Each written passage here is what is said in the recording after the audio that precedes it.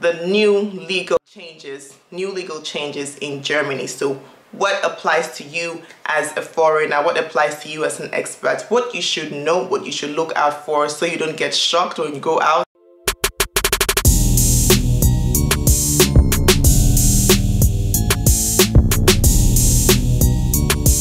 Everyone, welcome to the Phoebe Way. If this is your first time, my name is Phoebe and on this channel, the Phoebe Way, we talk about life in Germany, how to navigate in and around Germany, the German bureaucracy, and you know, just discussing topics that are essential and relevant for expats and foreigners who are trying to settle easily and smoothly in Germany. And also because I love traveling, I'm also going to be giving you travel vlogs as well. So if this is what you're interested in seeing and if this is also what you're interested in learning, do not go anywhere. Subscribe to this channel, activate the notification button so that anytime I upload a new video, you'll be one of the first to know. And of course, and enjoy as well. Yes, I promised you guys that I'm going to give you all the tips, every tip that you need to know about life in Germany, how to make your life in Germany easier. And one of my biggest tips started from 2021, I'm continuing in 2022, is luggage pool. Luggage pool is the solution to all your logistics problems. One, they are making it easier for you to move homes, so move houses from city A to city B, so you can have the van, you can book a van, you can book helpers. If you're trying to change your furniture, if you're trying to buy new furniture, you don't have anybody to help you with it, Luggage Pool is giving you a cheaper option, so you book there and then you get to transfer your um, new furniture from IKEA, Mömax, Ola, XXX Lutz, all of these big furniture shops to your home. And also if you need a handyman they're also there for you. So luggage pool is made for expats by indian expats yes expats made this started these services and i'm so proud to share it with you guys. And in the year 2022 they've come with the app so you can actually get your help on the go. So download the app sign up using this link. With this link you save five euros off your first transaction. So it's going to be somewhere right here. Sign, sign, sign up so that you can get the help that you need. And also you can save off your first transaction. So without further ado, let us get right into today's video. Today we are going to discuss the new legal changes, new legal changes in Germany. So what applies to you as a foreigner, what applies to you as an expert, what you should know, what you should look out for so you don't get shocked when you go out, so you don't know what is going on. These are the topics we are going to discuss today. So let's start.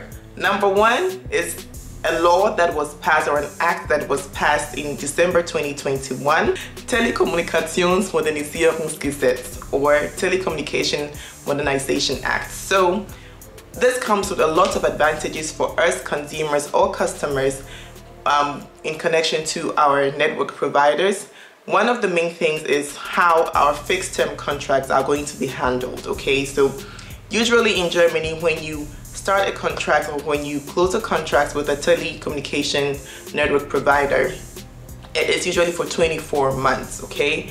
And then if you do not terminate the contract on time so before the second the 24th month by if let's say if the contract should end in May by the end of March you should have sent them a notice a termination notice and say I do not want to continue with this contract. But if you do um, do that then that's fine. If you do not do that the contract gets extended automatically by another 12 months. Now this is no more the case.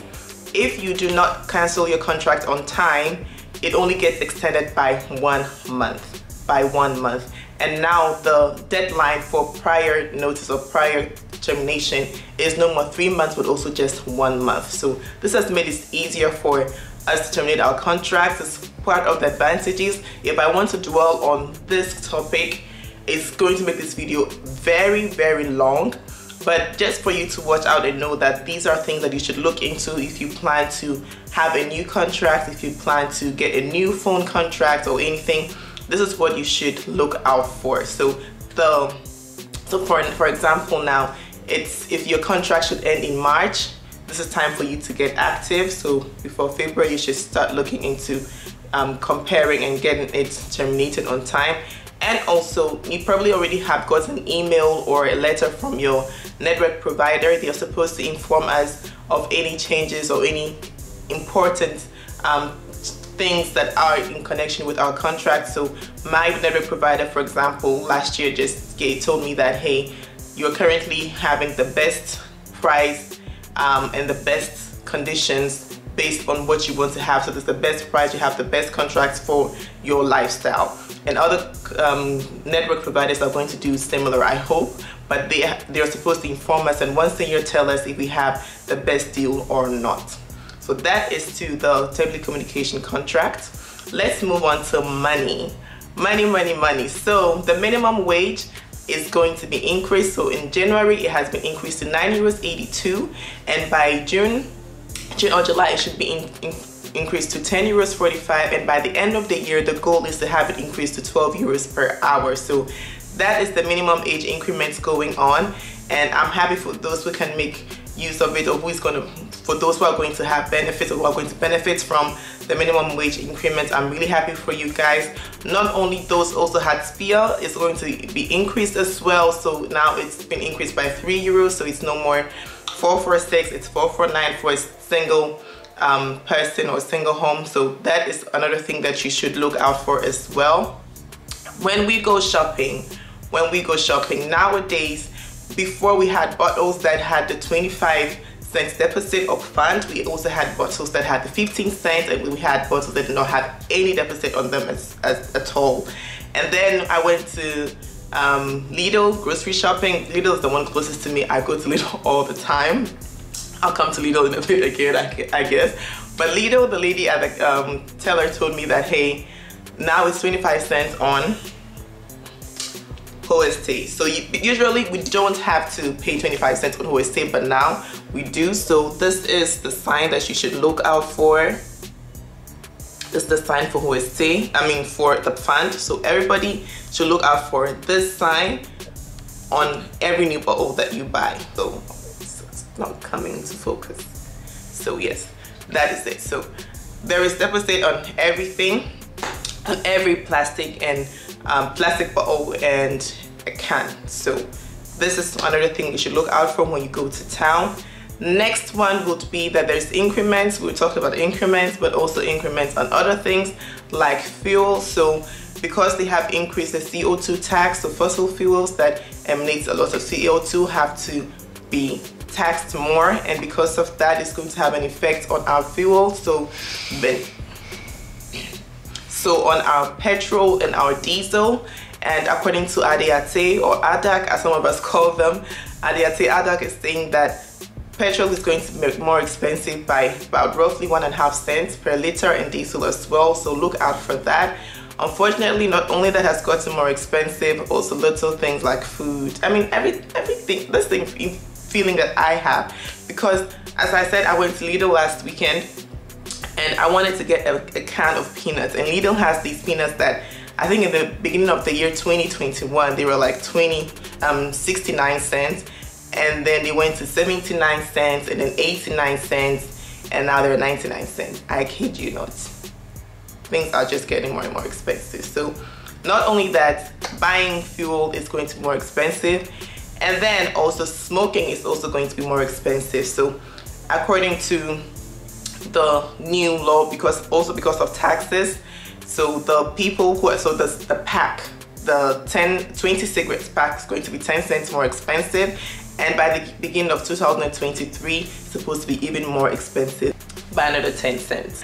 If you may have probably have noticed the plastic bags the thin ones that we use for vegetables and fruits are going to be there but the bit thicker ones they are going to be taken out of the store. So now it's going to be paper and you don't you can't even buy them now. They are just no more available. So beware of that. Go with your own bag. So in order to save the environment I guess. So go with your own bags as well so you can save yourself some stress. Next topic let's go to health. So now the last time we did the legal changes I talked to you guys about the electronic data being sent to your health insurance um, automatically from your doctor. So if you are on sick leave, your doctor is going to send the information straight to your health insurance. You don't have to be the one to go and tell them, I'm sick, this is my um. No, your doctor does it. But now it's not just that. Your electronic patient data your record is also going to be available in the hospital. So when you go to the hospital, um, you might have to be you have you might have to sign that you allow your data to be shared with specific people, specific personnel. So look out for that as well. There's going to be more signing going on in the hospitals the year 2022. Now let's get to walking around, going around. So in the train, some of us have our um, monthly train tickets where we pay every month and we can use the trains as we wish. If not somebody who uses the train regularly, beware that you cannot be buying the train tickets in the trains anymore. You need the Deutsche Bahn app that's the DB Navigator or DB Navigator. That is the app you're supposed to use to buy your ticket digitally or you go to the counter but you cannot buy it in the trains anymore. So there's no more automat or ticket sale machine in the trains. Look out for that download the app now if you know you'll be traveling soon or you'll be using the bus the trains anytime soon get that they have actually updated a few things about it so get that as well and make sure that you get um, your ticket beforehand because if you don't as I already told you guys Schwarzfahren is not something that is um, accepted here if you don't have a ticket you are going to be fined when they control you so look out for that as well so guys, you have come to the end of today's video. Thank you so, so much for watching. And I hope to see you same time next Sunday. Next Sunday, we are going to start the series with passports. So the naturalization, not just passports, but the naturalization process in Germany. Because I did one last year. This year, I'm coming to you with a different angle. So if you have any questions about your naturalization process, why you didn't, didn't work out, why you were rejected, and the steps that you can take stay here with me subscribe activate the notification button because this February I'm dedicating it to this particular topic so we're going to have two three videos dedicated to the naturalization process yes and also as I said I'm going to be sharing with you my Ghana vlogs. I'm I am really excited about those. I hope you like them as much as I enjoyed myself in Ghana so yes yes yes yes. Anything else? No. Also meine Lieben bis zum nächsten Sonntag please please take good care of yourselves and see you same time next Sunday. Cheers!